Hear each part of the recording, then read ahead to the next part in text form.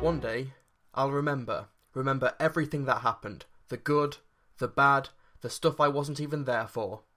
The following is a review for critical, analytical, and educational purposes only, and is protected under Article 17 and 107 in the United States Fair Use Code. This video is not an infringement on copyright. Please enjoy the video. Those of you who have been following me for a few years will know that I love the Hobbit movies. The first one was high up in my top 10 movies of 2012, and last year, The Desolation of Smaug also wound up in my top 10. So naturally, my expectations and excitement levels for the final installment, now retitled The Battle of the Five Armies, are sky high.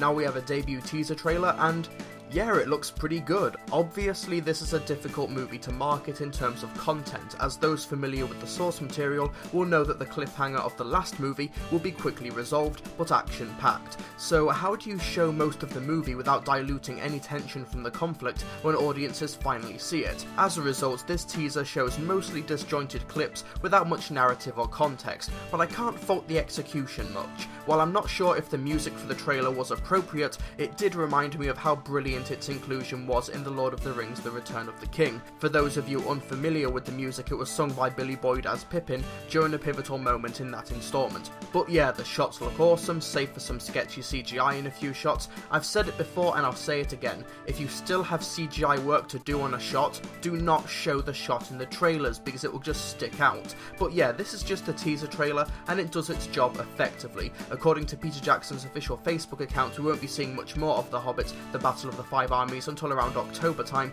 because of the amount of visual effects work left to do. Those five armies won't animate themselves, you know, but this was still an effective teaser to whet our appetites. The Hobbit, The Battle of the Five Armies will be released in the UK on December 12th, 2014, and in the US on December 17th.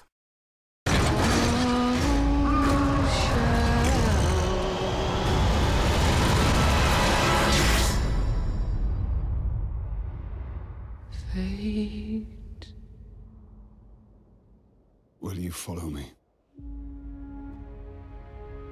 One last time.